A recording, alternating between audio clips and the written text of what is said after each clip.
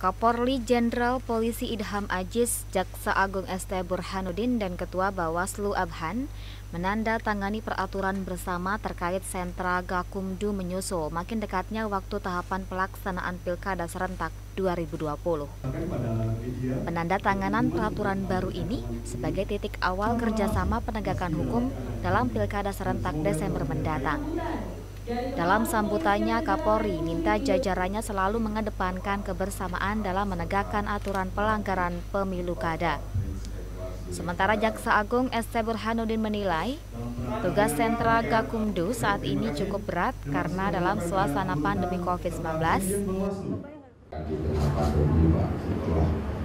beberapa kali perencanaan. Semoga ini didengar semua oleh jajaran di Polda seluruh Indonesia, khususnya di Timur dan di khusus saya hanya berusaha setelah penandatanganan penandatanganan kesepakatan ini saya minta aspek nanti benar-benar menunjuk orang yang punya komitmen dan integritas yang duduk di sentra gabungan.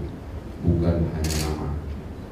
Jadi spring bahkan berikan mereka kepastian kalau mereka berhasil di dalam uh, kebersamaan di sentra Gakumdu untuk mengawal pelaksanaan Pileg tahun 2020 berikan mereka ruang Ketua Bawaslu Abhan mengutarakan perubahan aturan dan norma dalam peraturan bersama di antaranya menyangkut penerapan protokol kesehatan COVID-19. wajib untuk bersama-sama bergandeng tangan apalagi kondisi pilihan ada waktu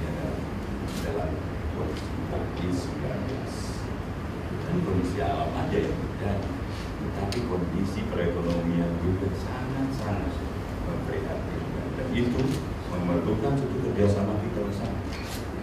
Itu mari bergandeng tangan untuk pelaksanaan Pelaksanaan Pilkada serentak 2020 sempat ditunda jadwal pelaksanaannya karena pandemi COVID-19. Namun Pilkada akhirnya sepakat digelar pada 9 Desember mendatang diikuti 270 daerah. Protokol kesehatan ini yang harus dilaksanakan bagi jajaran sentra Gakumdu ketika melakukan penanganan pelanggaran dugaan eh, pelanggaran pidana pemilihan itu. Itu yang yang apa eh, perubahan eh, norma-norma baru adalah soal tadi penentuan ketentuan protokol kesehatan ini untuk diterapkan dalam penanganan pelanggaran. E, kalau di dalam kampanye itu kan diatur oleh PKPU.